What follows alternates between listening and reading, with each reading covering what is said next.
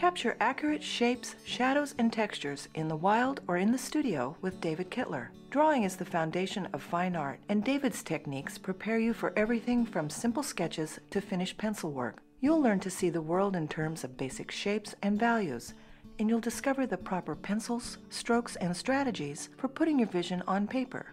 This DVD contains dozens of exercises covering shading, outlines, composition, reference photos, and more. David encourages you to draw from multiple sources objects, photos, and your imagination, and he works with diverse subjects. He finds shapes and shadows in birds and flowers, then uses architectural sources to demonstrate perspective and his six steps for creating depth. In the final lessons, he explores texture and contrast in a finished, lifelike drawing of a ground squirrel. To strengthen your artistic foundations, join David Kitler in Draw with Confidence From Basic to Brilliant.